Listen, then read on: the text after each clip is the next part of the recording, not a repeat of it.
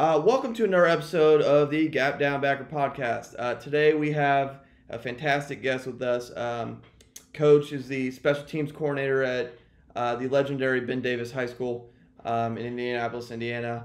Uh, Coach Alex Kirby. Coach, how you doing? Uh, I'm doing great. Thanks for having me on. I appreciate it. No problem, Coach. Uh, Coach is going to kind of talk opponent analysis and breakdown.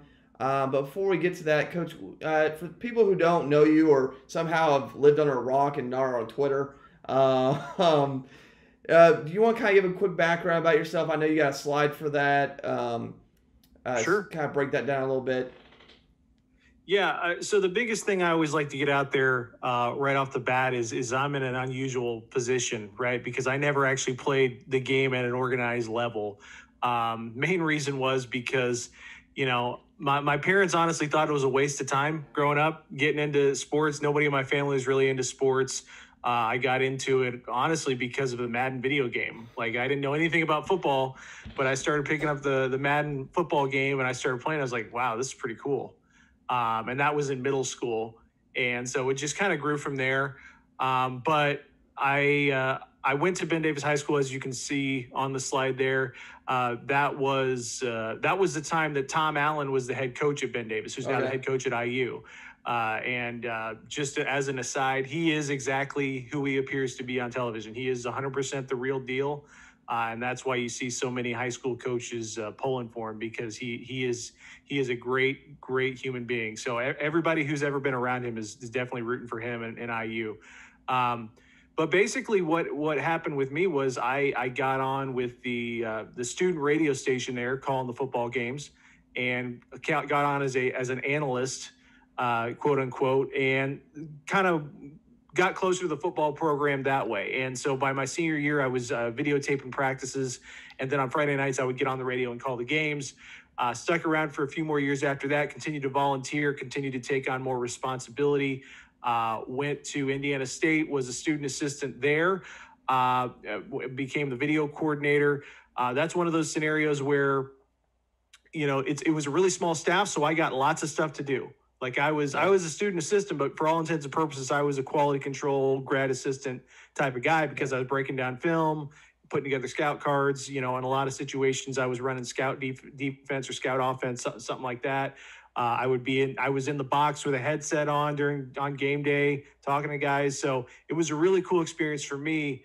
Uh, being a part of college ball, and and, and now I'm back uh, at Ben Davis, where where uh, where I graduated from, and and lots of good people here that I've spent a lot of time with uh, and, and talked a lot of football with. But um, yeah, I'm, I'm really lucky. It's a, it's a great place to be. The, the kids are awesome. The, the coaches and the administration are awesome. So uh, not a lot of complaints right now, honestly. Uh, and then, you know, I'm, I've, I've written several books. Uh, the one I did put there, Breaking into Coaching with No Experience, just because uh, I've written a lot of X's and O's stuff, but that's probably, you know, the my most favorite book that I've written because it is uh, probably the most actionable book that I that I've written. I, I've had several people since I put it out write to me that you know that's exactly the kind of book that they were looking for. You know, they're in high school or college and they wanted to get into coaching, but they didn't know where to start. And basically, I, I just tried to give as much firsthand information as I could uh, about how I got into it because I didn't play. Uh, I didn't definitely didn't have a dad who was a coach or anybody. You know, a lot of connections getting into this thing. Um, but I really wanted to be around the game, and I figured that out pretty early. So just found a way to get it done, and so hopefully, you know, that that saves people a little bit of time, and and that is. I did want to put that in there. That is available on Amazon and, yeah. and on the website as well. Now, are, are most of your obviously you have your own website too, and you talk there. Are most of your books also available on Amazon, or is it just that one?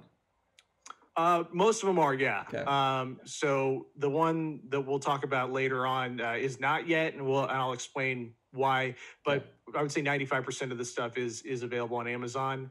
Uh, or you can go to throwdeeppublishing.com as well. You can get it wherever okay. you want. And so I think uh, what we'll do is we'll just get right into it. So, first of all, overall philosophy, I think you have to have a philosophy of what you want to do, even when uh, you're talking about something as as seemingly straightforward as breaking down an opponent. Now, uh, I am the special teams coordinator. I just uh, got that role uh, about a month ago, actually.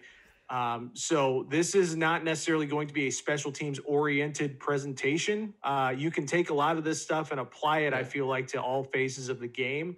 Uh, but the the past few years, I was really more of an off the field guy, uh, really trying to keep us a week ahead of uh, whoever we're going to play. So, for example, week one, we're we're everybody's getting ready for their week one opponent. I'm breaking down the week two opponents so that by the time the weekend Sunday morning meeting comes around, I've got everything ready to go and we can yeah. just keep on rolling.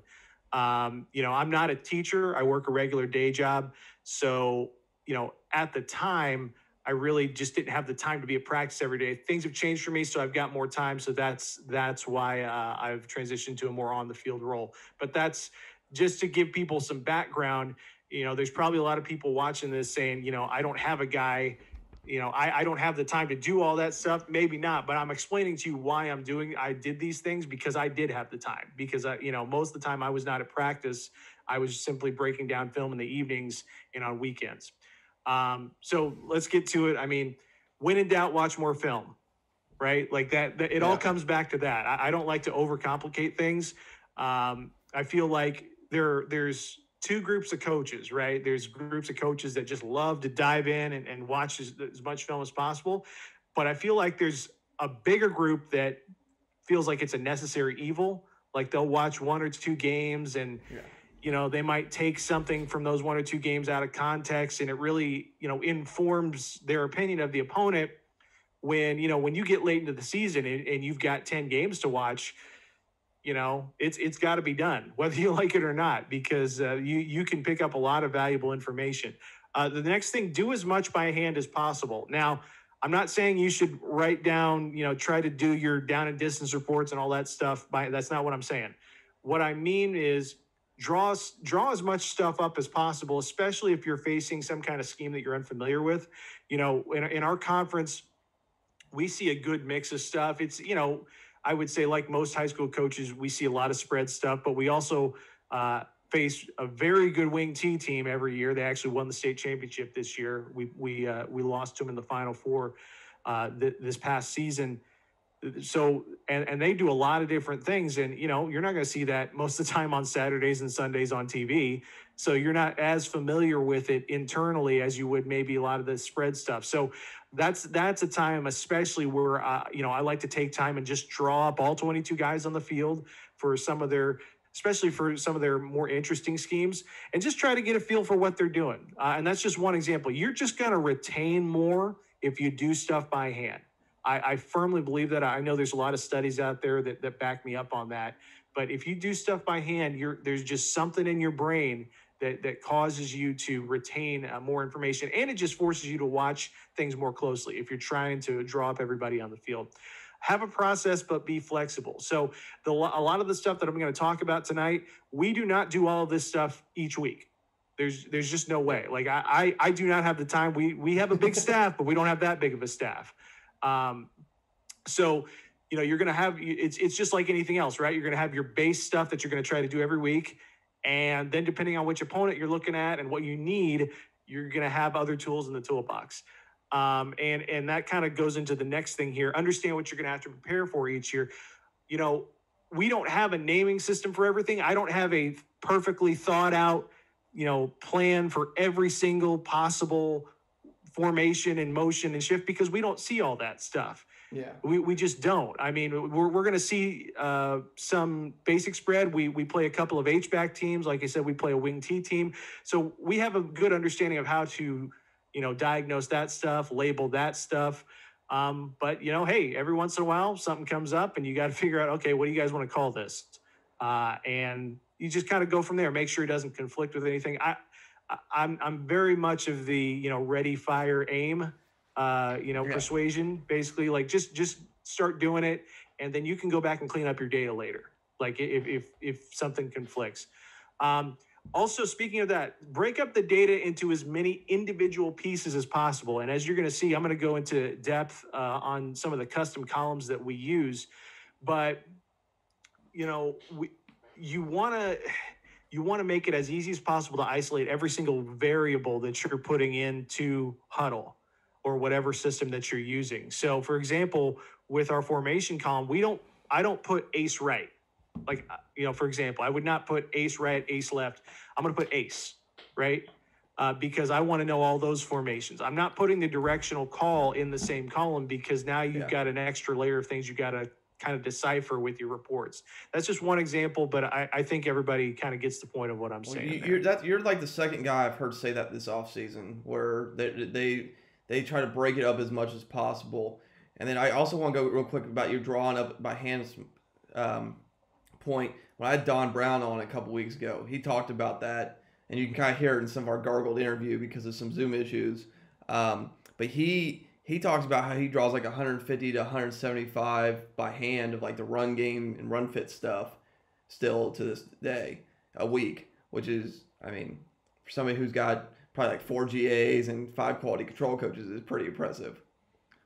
But, but I mean, it, it really is the best way to Yeah. dig in the details and make sure that you're not missing stuff. And, you know, I, again, I understand that a lot of people watching this, you might not have the, the, the resources and the number of assistants that we have.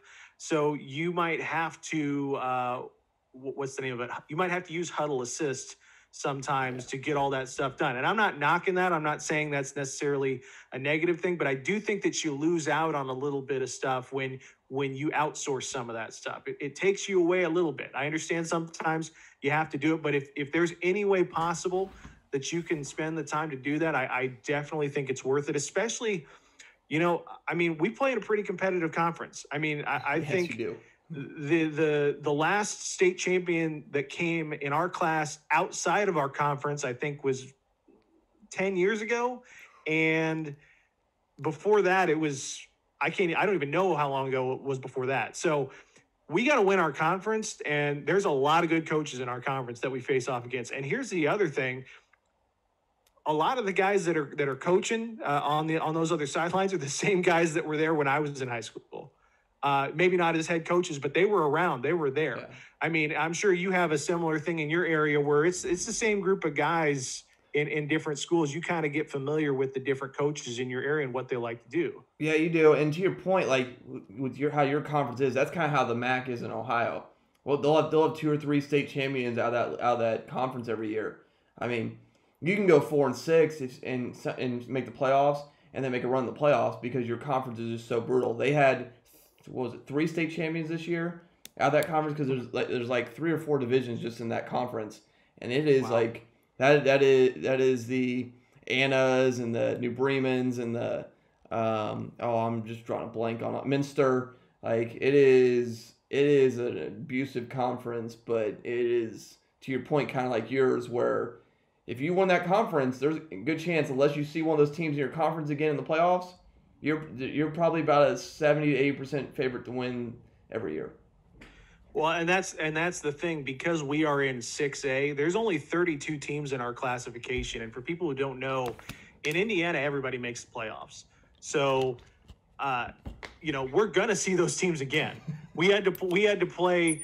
Uh, you know, I, I, you go back to some of the state championships we've won. We've ended up seeing two or three of those conference opponents either on our way to the state championship game or in the state championship game, depending on how the bracket fell.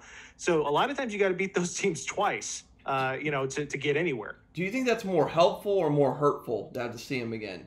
Because I, I of go back and forth on that personally. Like, oh yeah, I've seen him again, so I know what they'll do. But I think the, some coaches overestimate on knowing that data and information or information. I'll say information is probably better word than data.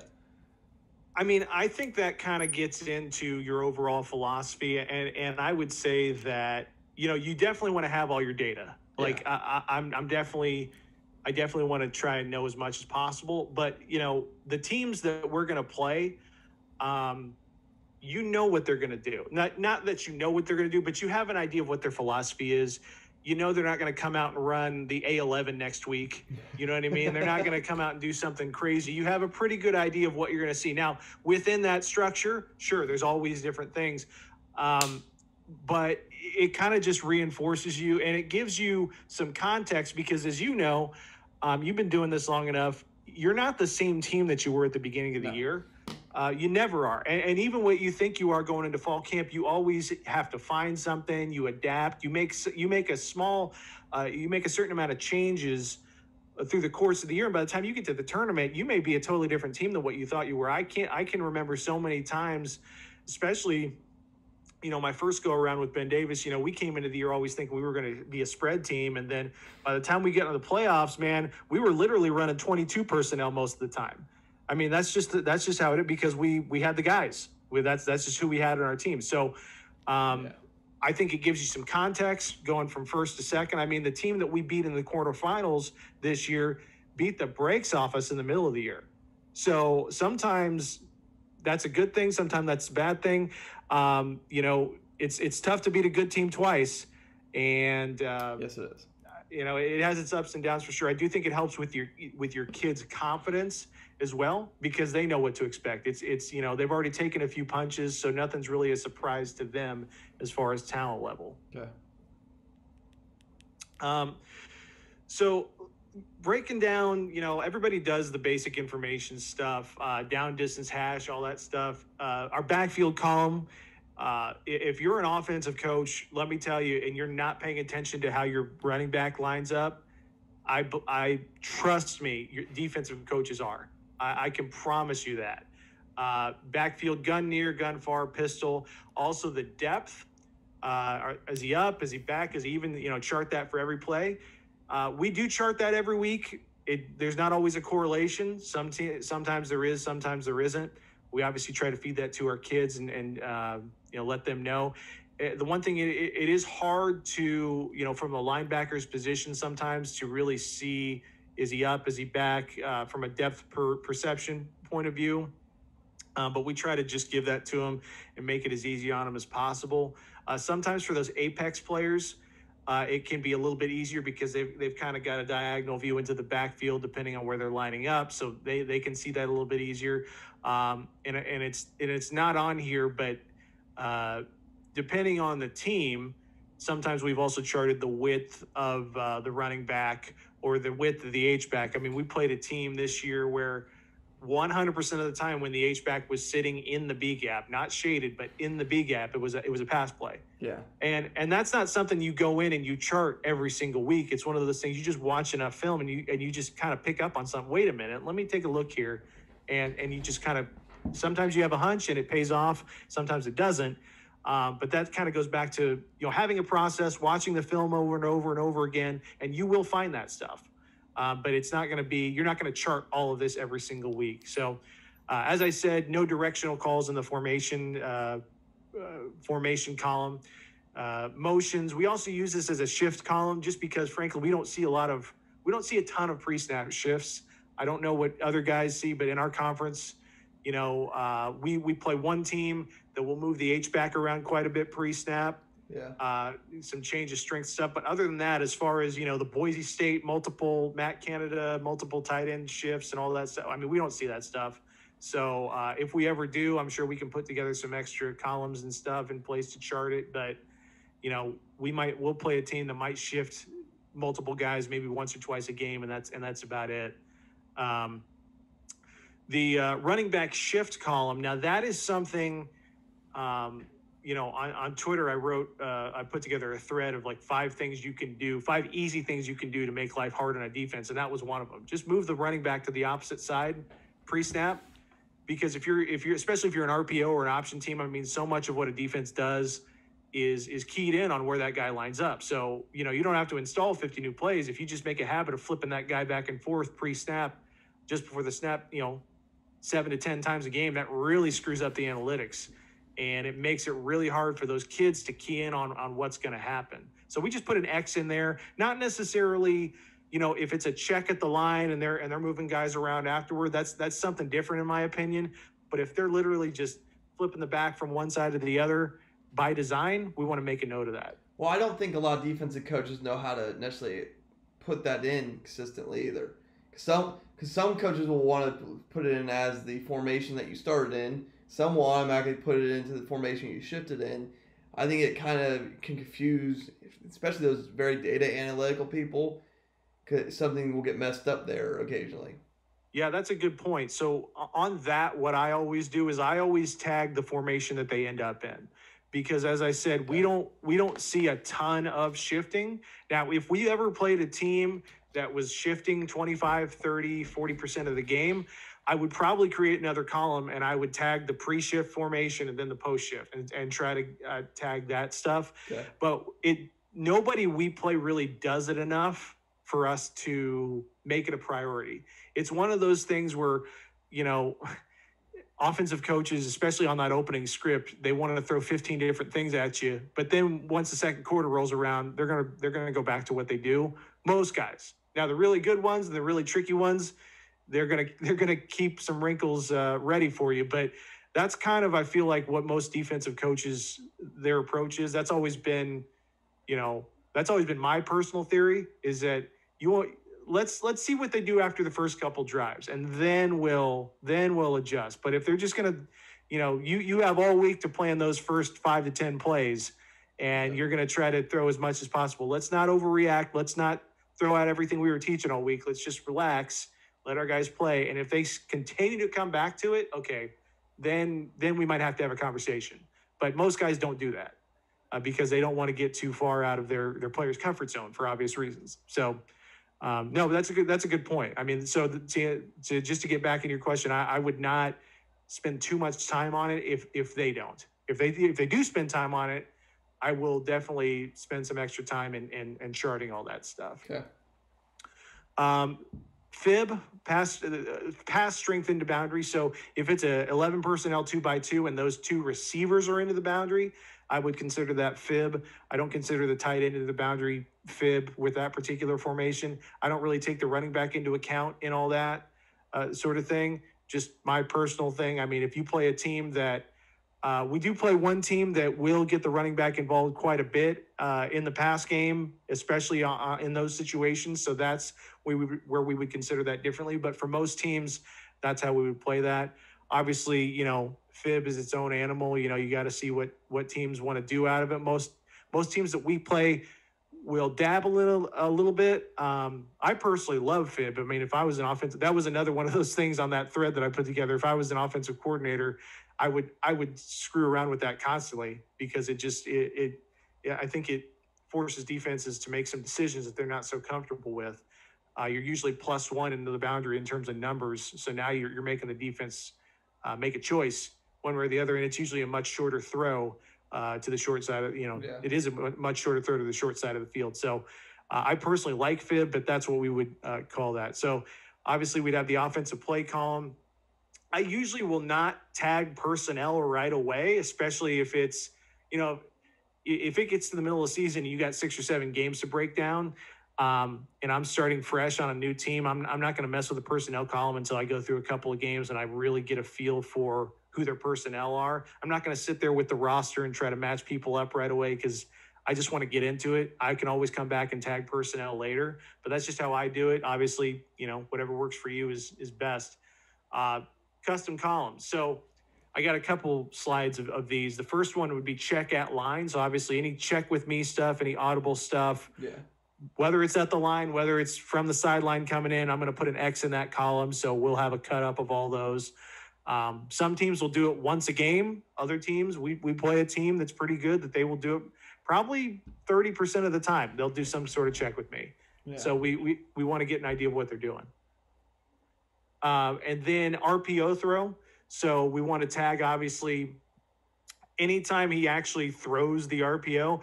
We, um, we do not face really any teams that I would consider a true RPO team where it's a ton of post snap reads.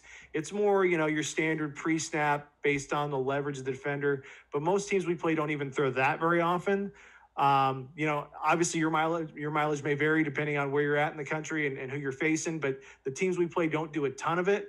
Um, but we do chart when they do it. We were probably the most RPO heavy team in our league a couple of years ago. We've gotten away from it a little bit Yeah. uh, just just because of you know for personnel reasons, a number of reasons, but um, but yeah, we still see it. It's just not a it's not as big of, of a thing as probably other pe- people in other parts of the country. see I don't think it's as big in the Midwest yet. I just don't think it is. I think it's a, a vastly a sou- southern and western thing because like I mean I know I know some teams in Ohio that do it well and there's some others that dabble in it but like true like they're RPOing us like college to the college ability that the college does. I I don't know any in our area that do.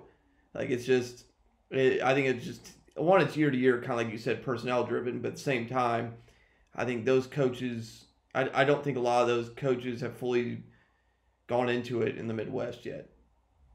Yeah, I mean we we we did it uh, several years back. You know, we we our last state championship was in 2017. I mean, we were heavy RPO stuff, but honestly, we were the most talented team in the state at that point. So I don't know that it would have mattered what we did. To be honest with yeah. you, I mean, we ended up ranked sixth in the nation. So we were we were gonna we were gonna win some games regardless. now. Those kids don't come in all the time, so we, we don't we don't have we don't have uh, you know necessarily as as talented of a team.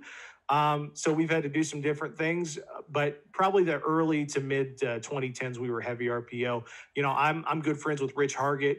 Uh, I don't know how familiar you are with him. He does a lot of stuff with RPO, his surface to air system. Yeah. So we talk about that a lot. So I, I you know, we don't run RPOs as much. Teams around here don't run it, but I I do know how teams like to to read it. You know, the college style, like you were saying. I just don't see a ton of that around here but we're going to chart it. I mean, because we will see it at certain points, especially down near the goal line. You know, you get any kind of you know tight end dump pass or uncovered uh, inside the red zone where you throw a post over the top of the boundary free safety, that kind of stuff. Um, we'll we'll see that occasionally. Um, but other than that, it's normally just you know pre-snap leverage reads, basic stuff, throw the throw the off hitch, that sort of thing. Um, we're gonna we're gonna tag the option, so any zone read. We don't face any true like triple option teams. We did a while ago. Um, you know, Kevin Wright, who who was until recently the head coach at IMG for a while. He was the head coach at Warren Central, uh, kind of our big rival here, and they ran uh, wing T triple option for a long time and ran it really well. Yeah.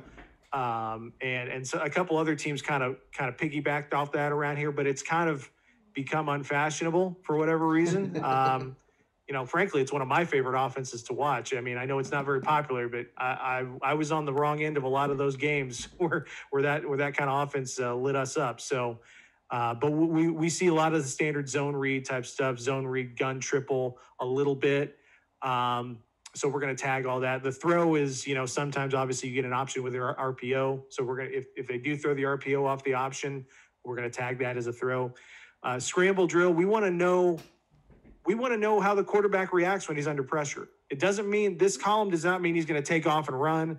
It doesn't mean it's a sack. It doesn't mean any of that. Anytime he's just off his normal point in the backfield, um, it could be he's sprinting out. Now, if he's just sprinting out, we're not obviously we're not that's not a scramble drill. But if he's sprinting out, then has to pull up and then maybe reverse course, we're going to put an X there, uh, just because we want to know.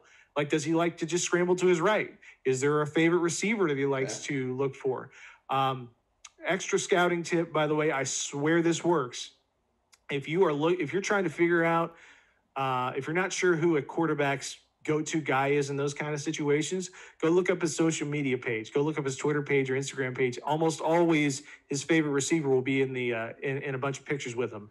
Uh, and I, I, promise you, we, we have we got we got a lot of information out of that. Uh, it, we, I think we were 100 percent on that uh, the past couple years. So hey, hey, you got to do what you do to find the information. Sometimes it's something simple as a social media picture.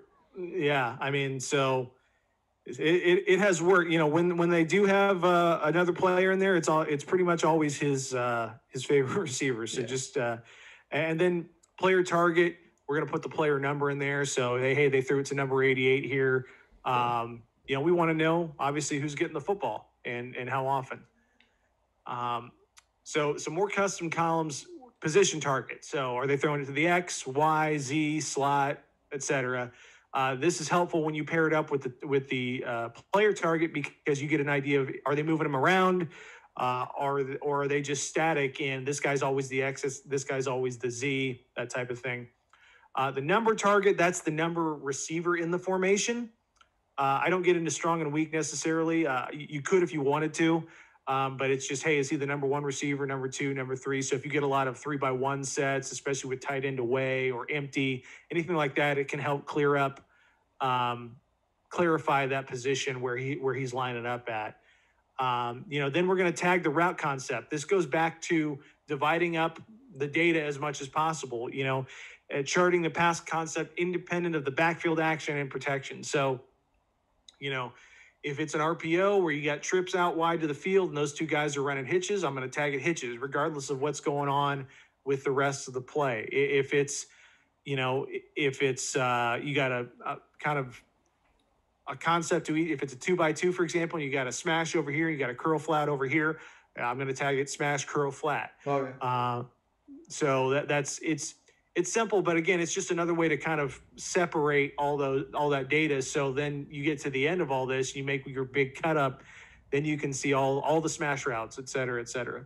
Uh, route thrown, obviously, we're gonna we're gonna we're gonna chart the route thrown.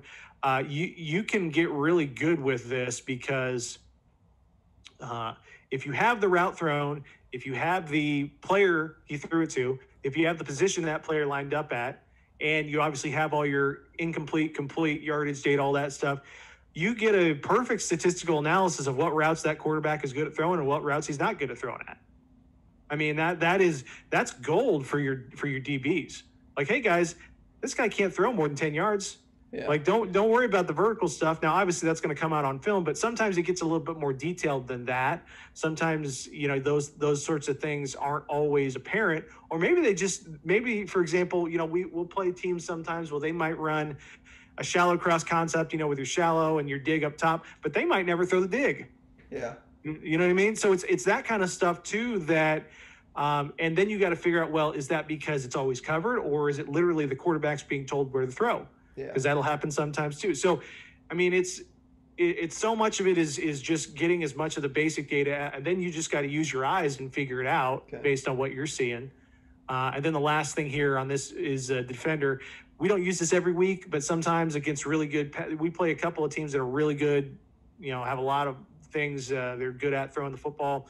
So you know, it's it's interesting to see: are they targeting a specific guy? Are they targeting a specific area of the field, or is he just throwing to the open guy?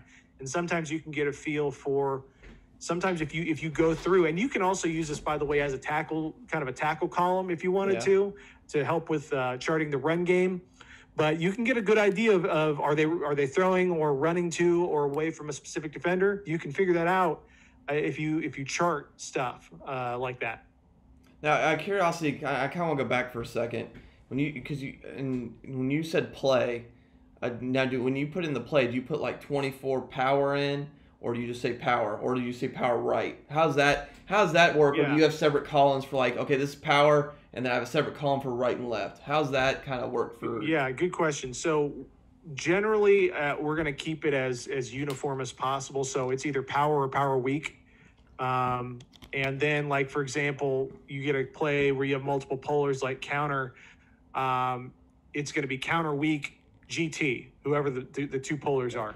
So uh, that way, you know, you're still you're still getting all your information, but no matter if they're running it right or left, you're still getting the same information regardless. And we do have a right or left column as well that, that we use um, to for all that stuff uh, as well. We actually flop our tackles and guards. Uh, nobody else in our conference does that. We've been doing it for as long as I've been here, uh, and a lot longer before that. Um, it just works for us. Uh, have not seen anybody else that we play do that yet. I know Nevada used to do that when uh, what's his name was there, uh, Chris Ault. I yeah. know they did that for a while. Well, that it, I think it's one. I think it's becoming a lot more common too. It's very we see that a lot in Ohio. Like I, I typically it's like the wing T and the double wing teams will flip their lines. I know some spread teams are kind of dabbling in. it. I know some spread OCs that are dabbling with it. It kind of just varies on I don't know comfort level and bring somebody bringing on staff that can justify it. Usually, usually you, it requires O line coach buy-in, from my experience, um, of some kind. But yeah, I mean that's I mean I've probably spent half my year half my career flipping the line. Um, it's just yeah. what we've always because it, it from a learning perspective, it's so simple for your offense line. You're always doing this on this play. Yep, and and it just it cuts down your verbiage a yeah. ton you know, you, you don't have you, you don't have a, a week left and a week right call and all that stuff. It just and you know your your quick guard is is your puller. So you want you want to run power. You don't have to. You really only have to worry about one guy most of the time. We we we had been, uh, you know, late 80s through the 90s and early 2000s, we had been a heavy I formation team and, you know, power, midline, ISO, all that stuff. Um, but even when we went away from that went more to gun, we just kept it because it's what we did and it's what we, we had always done. And, you know, Hey, what you know. it, it, it works, right? I mean, so yeah, it's what you know. It's one less thing you got to teach guys. And I don't recall ever actually ever having a conversation about switching it. I don't know why we would, but it's it's interesting because uh, you know for whatever reason in my area, at least in the in the with the big schools around here, I I don't know of anybody else who does it. But that, I guess that's just one more thing that that teams have to worry about with us. You know, that's different. Um, so specific personnel columns again this is not something that we will do honestly most of the time but if i want to especially i'll tell you where this is useful when you want to go in and tag each player at each skill position is those specialized personnel groups like short yardage like jumbo personnel um, and 22 personnel. Th- those types of personnel groups where you have a whole season cut up and you might have 20 snaps of one personnel group and you know they might bring up bring in a D lineman or they might bring in an extra couple tight ends, and those guys you might find those guys move around depending on what the play call is. Uh, so, you know those are the type those are the type of personnel groups where you get into it, and again I'm going back to this. This is another thing I wrote on Twitter, like ways to make life difficult for a defensive coordinator. Yep. Those specialized personnel groups, if you can have different formation, wildly different formations out of those specialized personnel groups. So, for example, you got a 22 personnel group. Okay, everybody they, they're running their big guys out on the field. Well, they're going to line up in the eye and pound the ball, right? Well, if you had some way to line up in some sort of empty set out of that, that will come. I mean, they first of all, defense is going to have to call timeout because they, they won't know what to do because they spent all week lining up playing cover zero against those big guys right? You, that's that's generally something you have maybe one or two calls for in that scenario. Um, so you're kind of taking advantage of the the lack of the lack of time in that particular segment of the game plan.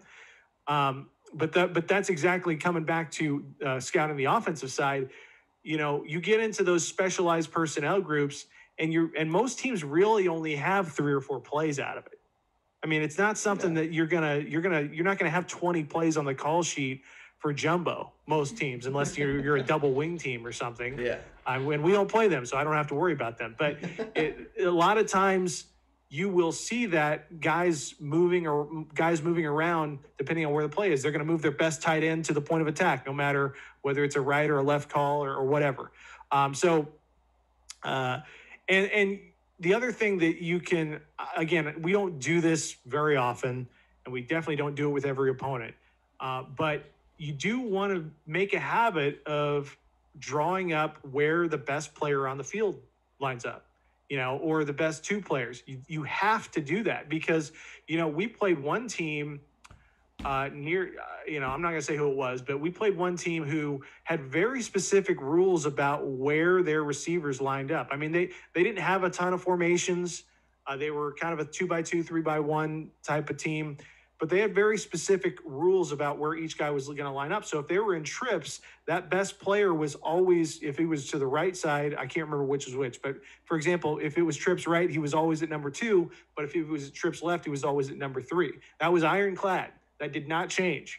So that affects the routes that you're going to see from that guy. Yeah. And that affects, if they want to get him the ball, that affects what they can do. So feeding your kids that not not the grand scheme of things, but feeding your kids, and letting them eliminate options from the menu when they're lining up across the, from that guy, it, it's a game changer. So is that going to happen every week? No, but that's part of the puzzle that you're solving every week. You're trying to find those things. So that's one way to get it. Uh, and then, you know, finally here, we don't film signals, but hey, sometimes people send you signals on film. It happens a lot. I don't know yeah. if it happens to you, you know, but what what ends up happening a lot of times, you got that parent or you got that freshman coach who would rather be doing anything else, and he's not. He doesn't really care what he's filming, and he's you know when they're checking from the sideline or he's starting the camera way too early. Uh, you're you're getting the signal. So first of all, you better have multiple signalers if you're going to signal. Like I don't understand people don't do that, but but you but you better if, if people give you that, if people give us that stuff, we're going to at least take a, we're not going to spend a ton of time on it, but we're going to at least take a look and see if there's some easy wins there that we can, you know, get Yeah. a jump on. Um, cause I, trust me, I've been on the other sideline where I knew all the signals because they weren't using multiple signals and it didn't matter. So Right, yeah. you still got to, you still got to play the game. but if we can find one or two easy wins there, we, we will.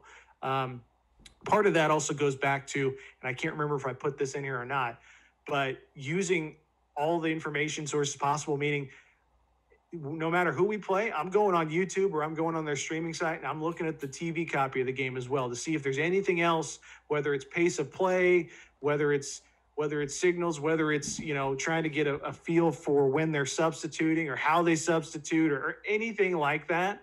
Um, that is that is something that's invaluable. You know, I was talking to a coach, uh, another special teams coach, and he brought up that point. You know, getting ready for a particular team who ran a shield punt. We're we're on film. The shield punt was already lined up, so they spent all week talking to their kids about, all right, here's how we're going to line up to the shield. You know, we feel like we can block one this week. Well, you get into a game, and they realize that well they just run them onto the field all of a sudden and snap the ball they don't give you a chance to line up and he said we didn't look at the actual tv copies of the games because if we did we would have known that Yeah. so that's the type of stuff that eh, tempo anything outside the normal film i you know are do do you spend six hours a day looking at that? No but you you want to scan through it and just see if there's anything extra that, that you've seen. This is that's kind of your your final step. And also it, it does come in handy because at least in our conference we don't trade every game um, officially anyway.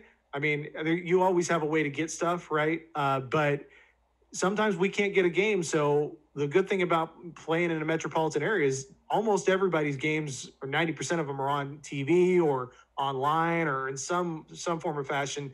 I mean now with covid everybody went to pay-per-view so that's even better for us. So I, I want somebody's game i just have to pay 10 bucks and i got the copy of the game.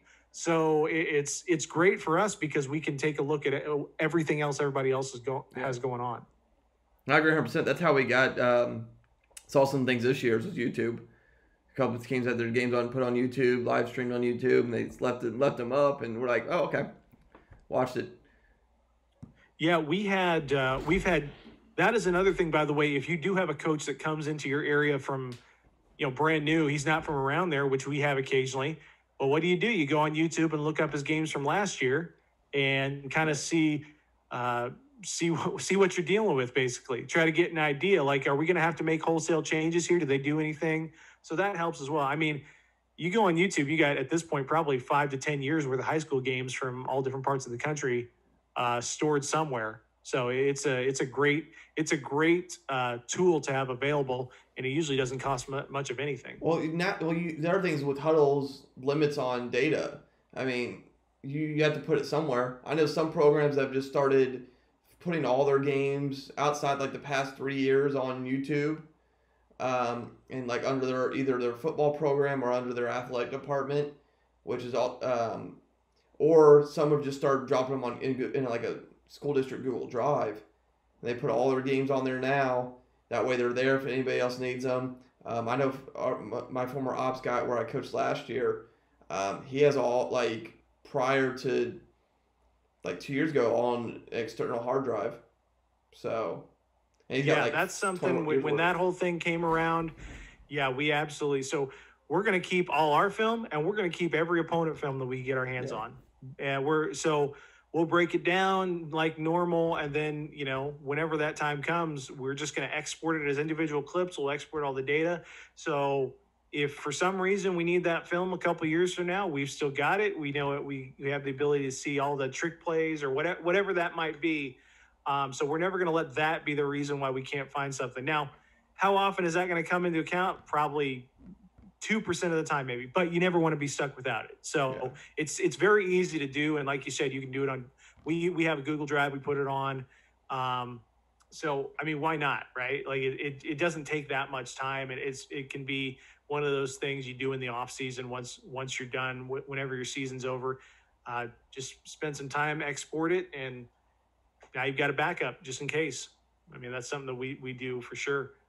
Um, just some just a few other general notes here. You know, what's their field goal range? I mean, that that sounds obvious, but you know, are you really taking that into account when looking at what the what an opponent offense is going to do? Um, you know, especially like on third down when they're on the edge of field goal range. You know, when they're kind of in that uh, in between zone where it's not necessarily a gimme. How aggressive are they? Uh, are they gonna try and screen you? Are they gonna drop back and and give them give uh, you a, a, target back there in the pocket to potentially knock them out?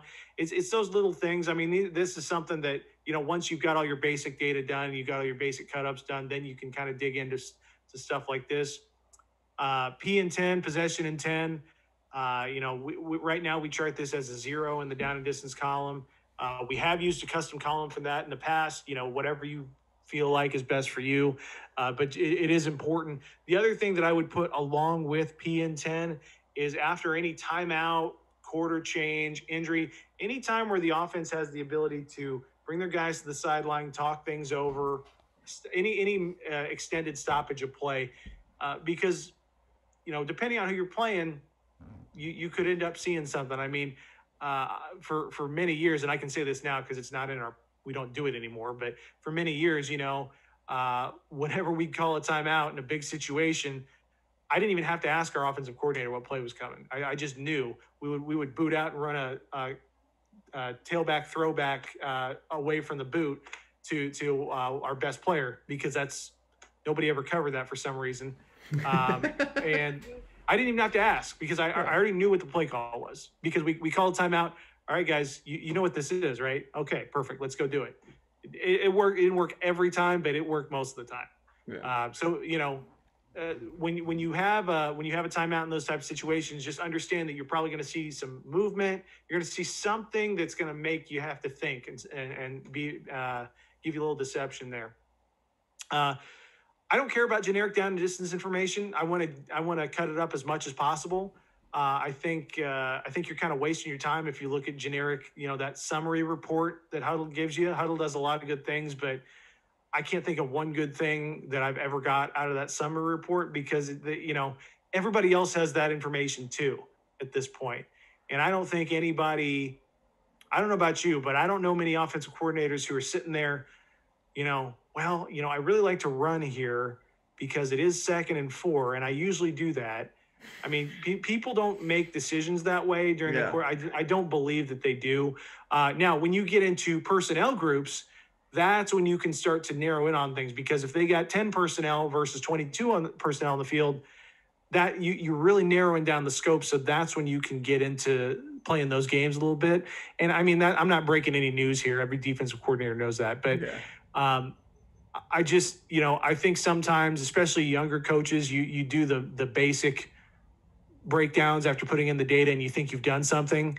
Eh, you, you got to go a little bit deeper than that. Is is what I'm trying to get across to you because, yeah. like I said, that summer that summer report, if you print it out, it looks like you've it looks like you put together a lot of interesting things, but you know, make sure that you're actually digging a little bit deeper and and, and putting the right stuff in there together.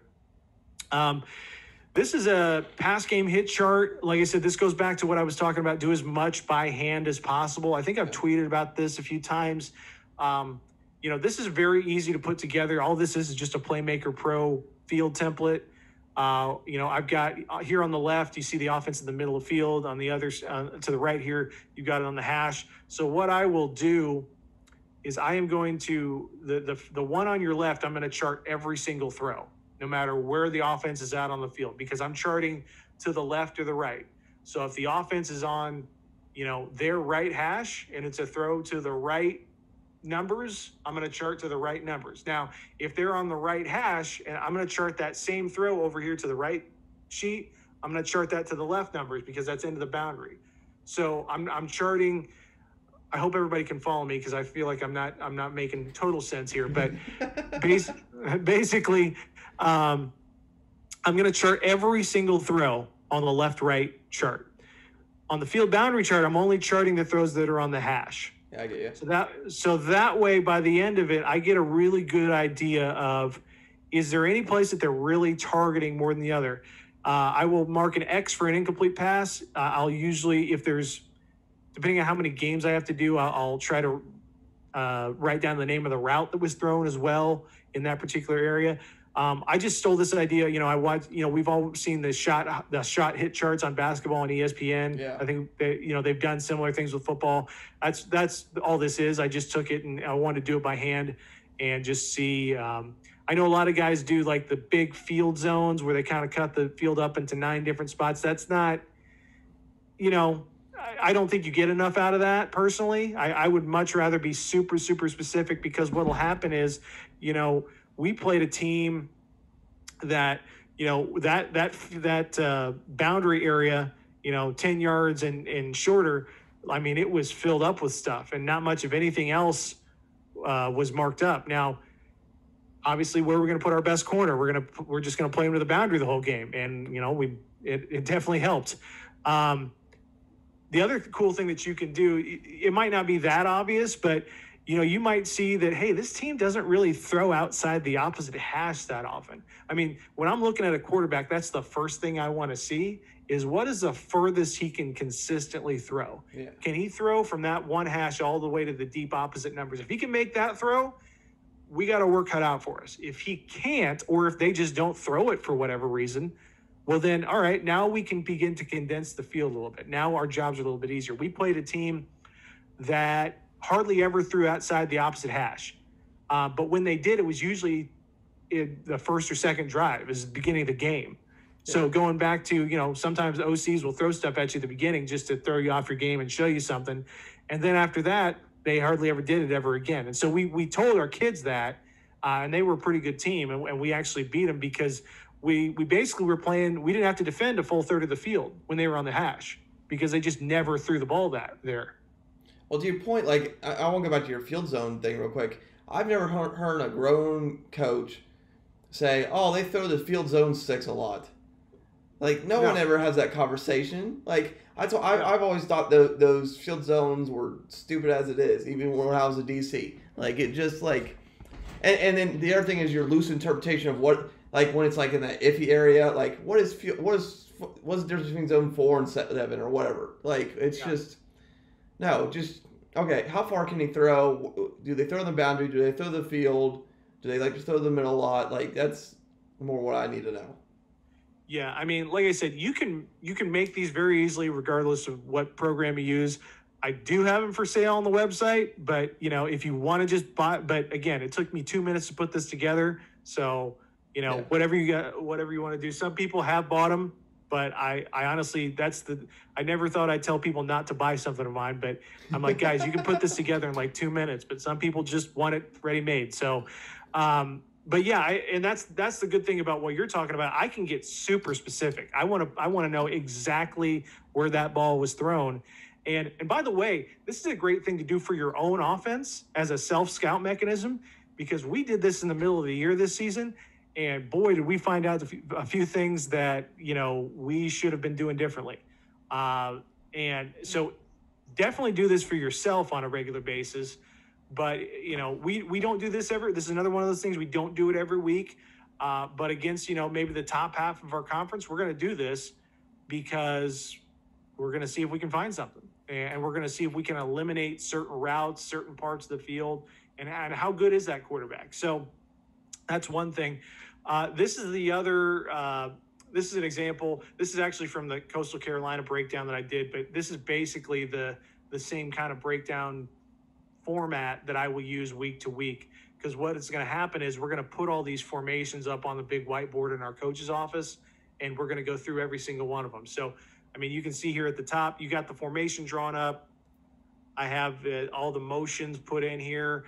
Uh, and then I'm just trying to put together a run game hit chart, speed option, QB lead drop, power RPO, okay. power RPO. So one thing, just the way I do it, I, I mentioned when I was putting in the play name, um, you know, it's power, power weak. If it's to the weak side, I'm still going to call it power here, just to, just, just because that it, it for simplicity's sake. Um, the the next part of this, I'm gonna I'm gonna kind of put together all the pass game stuff. Now, the one thing is, I will count, if you notice here, I'm putting the power RPO in the run game and down here with the pass game as well, because obviously it could be either, right? So your total snaps on the sheet are going to add up to more than you actually had. But I just found it, uh, it's just an easier way for our kids Yeah. to understand it and, and just to lay the data out. But, you know, I'm a, I'm a, here's all their, their concepts out of this formation. And then I'm going to put the position target, you know, tailback got it three times, H back got it twice, you know, two passes, that sort of stuff. Pretty straightforward. And this is actually, uh, you know, we don't get this fancy week to week. You know, that would take a lot more time. uh, but that's something that occasionally, you know, if we're putting in like end of season reports or something like that, we'll put this together. Um, kind of the same idea. Uh, and um, what did you use to put that sheet together? Just out of curiosity. that's that's Playmaker Pro. okay. I I um I used Playmaker Pro for a long, long time, and I still I still use it sometimes. But I actually just started using Just Play Sports uh, this week, and the I gotta say I'm pretty impressed. So I, I will probably I'll probably stick with that. But you know whatever you could make this with PowerPoint. I mean, to be honest with you, it, it wouldn't matter. But uh, I do, by the way, have this template on my site as well, but it doesn't take that long to put together. But if you do want it ready made, it is there. Yeah. Um, so, uh, uh, let me see. So, last thing, I, ideas for this season. Um, I was telling you before we started, you know, uh, Coach Bartley had a great video you guys should check out uh, on this channel. Uh, basically, on, on this same topic, breaking down, he talked about what he does. One thing I really, really liked uh, is he charts surfaces, not just formation. So he basically cuts the formation in half and and charts what they're going to do out of each look. I really like that idea, especially against the wing T team that we play, because I, you know, that's that's something where you might not get the same formation, but they're still running things to that same surface um, to a, to a particular side. So that's going to be helpful. And the other thing, uh, I want to spend more time on situational uh, columns. So, you know, there's time situations and there's field position situations, right? Two minute drill, four minute, end of half. You know, you have to score or you need one more first down, that type of thing. And you can get as creative with these as you want. Um, edge of field goal range, red zone, uh, pre red zone, green, whatever you want, whatever you want to put together. But that way you're not uh, that that way you can kind of tag it whatever you want. I, I think sometimes it, it gets kind of tedious if you're just relying on the yard line uh, markers in Hudl. Uh, you know that's just been my experience, but you know whatever uh, whatever is easiest, to obviously for each coach is is what works for them. But that's that's probably something I'm going to spend more time on Yeah. uh, going into this year. Okay. No, yeah, Bart, Bartley did a good job with that. That's kind of something he's kind of been. He's been like the scouting guru in our area forever, as what kind of people have known him for, and he's kept some of it close to the vest. Some he'll talk about, and with the head coaching change, he kind of just went all for it this off season. So Well, I can tell you, I I mean, I'm if I can't think of anything that I'm holding back right now because Yeah. my view is I want everybody that we play against to know exactly what we're watching all the time yeah, because I want them to worry about everything because the every minute they're worrying about themselves is one minute they're not getting better at what they're doing. So yeah, uh, that that's just my personal view. Like we're watching everything yeah. we, we will. So um, that's I, I'm I'm uh, just uh, you know if, if any of my if any of our opponents are watching this, we're we're watching everything. Oh, I, So- I will guarantee at least one or two of your opponents watch this. I will. I. It's amazing how many people I get to watch some somebody else's stuff and then tell me about it. Um, I'm I'm curious though, like how would you flip this? Like, because I'm an offensive coordinator now. How would you flip this for me scouting the defense? Like, obviously, you, I you, I mean the common thing would be okay. This is who's making the tack. Who's the tackler? Um, probably front.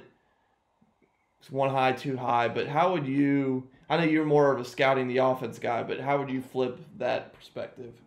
I think it all has to start with personnel. Um, so, and, and when I say personnel, I mean where is each guy lining up? Like, if you don't understand how the other team is lining up their best personnel, you, it has to start there. So, are they flipping their corners? Are they how are they rotating their defensive linemen? Do their linebackers play the whole drive? That type of thing. I, I think it has to start there. And then, what have other people done against them? What is what has worked against them? That that's the next part of it that you got to put in there.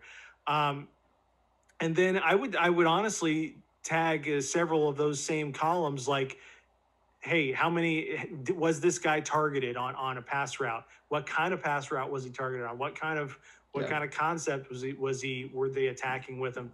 Um, you know when i was at indiana state and i was breaking down the defense they still had me break down the opponent offense that they were going against. So they would they would have me put in the formation the play all that stuff. So that way hey man, these guys really suck against the zone read. You know, let's let's think about that this week. Um, you know, that that's that's where I would start. It, it, it would be, and obviously you get into scheme and all that stuff later on, but uh, you know, I think at least for us, you know, we don't see in terms of coverages at least that different of structures week to week. Um, you know, we'll see some four down, some three down. Um, but as far as the coverage stuff, we honestly play the most unique coverage stuff in the conference that anybody's going to see. We play that Iowa State three safety type of stuff that that nobody. Uh, there's a there's a few other teams in Indiana that run it, but nobody else in our class right now really runs it. At least as a base. There's a couple of people with some nickel type stuff. Yeah. Um, but I think it, I think part of that uh, goes back to just being familiar with who you're going against, and and and I- and you know you kind of know right going into each week, and we're going to see a four three cover four this week, right? We're going to see four two five in split field coverages, like you kind of know that already. So to me, the interesting part is how are they flipping their personnel around, and and what have they struggled with on a man to man basis, like that. Once once I've got all the basic stuff done, that's where I would. Uh, that's where I would spend my time on. One thing I didn't talk about, by the way, which is not on this slide, but it is uh, on my mind, is doing a better job of breaking down protections. Um, that's something that we could have done a better job of last year, especially in long yarded situations, especially with under center pro style teams who, you know, you slide that center one way or the other, and all of a sudden you could end up with a big gap uh, in protection, but we're, we may not necessarily be sending anybody. Um, so that's another thing that I want to do a better job of is, and I've talked to se- several people about um, putting together rules about how to how to kind of classify and, and break down uh, different pass protections. So that's another thing uh, I forgot to mention as well. So, coach, do you have any kind of like closing thoughts on this, or um, I we uh, and I know you just briefly mentioned it, but I think I think most people kind of know that you you broke down Coastal Carolina's offense as well um, to an extraordinary depth. Um, um, I know my buddy purchased the book already. He texted me the other day about it. Um, so, but like, I mean, I I, said I'm gonna ask you this question. Why did you start breaking down college offense? Because I know you did the coastal. Didn't you do one on like Gus Malzahn as well prior? Like, why did why you why did you start doing that? Out of curiosity. Um, well, a couple reasons. I mean, it's it's something that you know, it just goes back to loving football, right? I mean, Yeah. you just kind of want to you you want an excuse to dive in, and and um, you know, I- I think a couple of people had done some similar stuff, you know, putting out books and things like that before I started doing it, and so I was like, well, why why not me? So why don't I try to do do some stuff like that? Um, but coastal was a, just a unique thing, just because of you know, like I, I think I said this earlier. You know, I love the option. Uh, I, I've never actually been a part of an offense that really was a true option team, but I love Paul Johnson. I love all that stuff. So anytime you get any kind of option, triple option uh, offense, uh, midline, triple, you know, counter option, freeze option. I mean, they do it all, by the way. I mean, it, Yeah. it was a really fascinating thing to break down. Um, but uh, it, it just gives me excuse to watch film and and uh, you know get paid a little bit of money for for doing it. To, to be honest with you, it, it, it does. It's not more complicated than that. Yeah, no, I, I get you. I get you. Um, have you ever like speaking of gun option? Have you ever looked at like any Bob DeBesse stuff, former New Mexico? Yeah, and- you know, um, I actually, yeah, I was actually when he uh, presented a, at AFCA, I was actually in the front row a couple years ago because I was a big fan of what he did. Uh, co- I I would I did not watch the Georgia Southern offense really at all this year, uh, but I've had several people tell me that it was very, it was similar in a lot of ways to uh, what Coastal did. I was really familiar with what he did at New Mexico. Yeah. Uh, I did I did break a lot of that down. I never really put it like together a project on it or anything, but I watched a lot of that. Um, so it was and I did it before he presented at AFCA, so I, I kind of already. Uh, it, it, was cool to to do all that, and then kind of go in and, and listen to his his words on it. It's not his view, obviously, it's his offense. Yeah. just what what he was actually doing, and kind of checking myself and seeing how right I was on certain things. But no, I, I love uh, any kind of gun option stuff. I think uh, you go across the country, that's probably one of the most common offenses you're going to see because it works. Oh, I, it's amazing how many coaches I've had talk to me about. Do you know anybody with Coastal Carolina film? Do you know anybody with Georgia Southern film? Do you know anybody that knows anything about the offenses? Like how many people want to try to run it, and because it's kind of the in vogue thing at the moment. I will say this: um, probably by the time this video comes out, I, I am going to have. I'm I'm working on a, a, coach tube course of, of Coastal Carolina. I'm putting together, kind of building on that because. Yeah. Um, and, that's and going back to I think we mentioned at the very beginning, it's the Coastal Carolina thing is not on Amazon because what happens is I put these things together and I spend all this time researching, and then as soon as I get it done, I'm like, ah, I wish I would have put that in there. I totally forgot about this, or man, I just found this. So what I'm doing, I'm actually uh, sending out a couple updates, uh, you know, uh, over the next month or so as I continue to go through and find things because that that's always the worst part of it. It's like, man, I could have written a whole other chapter on this thing right here, and and so I, I just I wanted to try something a little bit different, and and and just so anybody who orders it is going to get that stuff automatically. You don't have to pay extra. You buy it now, you'll still get it later on. Um, but I just kind of wanted to just kind of experiment and see how it goes, and yeah. and uh, so I, am working on that update. I'm working on the Coach Tube course. Um, but it, it's been really interesting and, and you know, as I'm winding that down, I'm also looking at B- BYU is probably the next uh, scheme that I'm uh, uh going to look at. And he just left there for what? Baylor, right? Baylor, yeah. yeah. Okay. So yeah, that, that uh, it's it's it's very similar. I mean, it is basically a toned down version of Matt Canada's scheme. You know, yeah. uh, wide zone, jet sweep, uh, just without the massive amount of pre-snap shifting. They do a little bit of it, but not nearly you know what he was doing a couple of years ago. You, mean the Pittsburgh Steelers offense that we'll see next year? That's going to be interesting. I, I, I have no idea. I, I don't even know at this point. Do they, they know if Roethlisberger's coming back or no? But I don't like I. I, I, I, well, I assume he is. He's supposed to make like forty-two million dollars or something obscene like that. Like he, it's like I know Drew Brees just negotiated like a pay cut, which pretty much signaled he's probably retiring, just from a cap standpoint. But Ben Roethlisberger, I know, has a massive cap hit for this year. You're not. I'm, I'm sorry. No one's no one's like leaving like between 35 and 45 million dollars on the table. You will play another year unless you physically can't. Like it's just no. Yeah. And I think, and I, am kind of with you. I blame him. It, it, it's kind of like I say when I hear like certain people get together and work together. I'm like, ooh, that's either going to work really well or that will be a dumpster fire. There's no like in between, and I, I hope Matt Canada's successful. I know uh, guy who's a coach would play for Canada at IU, um, and like I said, I think it'd be very. I think it could work very well, um, potentially. It, would be interesting to see um, how much of that he actually does, or how much he meshes with what he learned in the NFL this year as a quarterbacks coach. I think you're kind of limited uh, by in the I, I think part of a big part of that Pitt stuff was you know they weren't as talented as the teams they were going up against so they kind of had to do a lot of different things.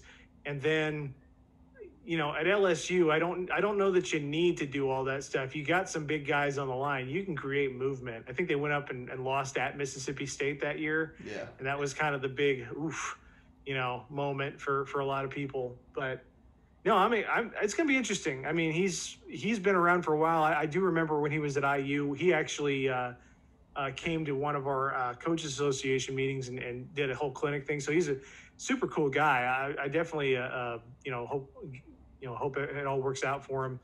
But yeah, it's going to be interesting. I, I have no idea. I do know that that that 2016 Pitt offense though was still super interesting just from an X's and O's standpoint to look at, and and that's what appealed to me about BYU is it's kind of continuing yeah. on that same trend. Okay, well, Coach, I appreciate you coming on. Um, coaches, uh, check the bio for obviously if, if, for some reason you're not following Coach Kirby. Um, his, his Twitter bio, his Twitter link will be on down there. Uh, his link for his new book at, for Coastal Carolina will be down there as well. Click on that. You can get access to that. Um, and um, uh, as always, again, if you want to listen to certain parts back through, there will be ta- uh, video tags at the bottom uh, at the bottom in the bio uh, for y'all to click on if you want to go back to a specific part.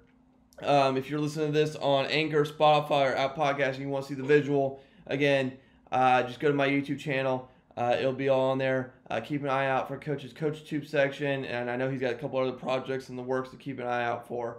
Um, this was another episode of the Gap Down Backer podcast. Uh, thank you, Coach. Uh, stay safe and stay healthy. Likewise. Thanks for having me.